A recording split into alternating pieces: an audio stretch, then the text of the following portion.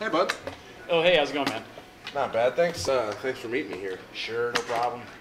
So I need uh, I need some help, man. I'm in I'm in rough shape. You know my brother, right? Dan, right? Uh, Dave, actually. He's always shitting himself, and uh, Yeah, cancer's a bitch, you know?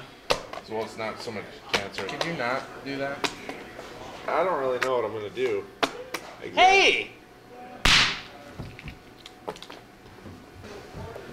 I was gonna take a picture.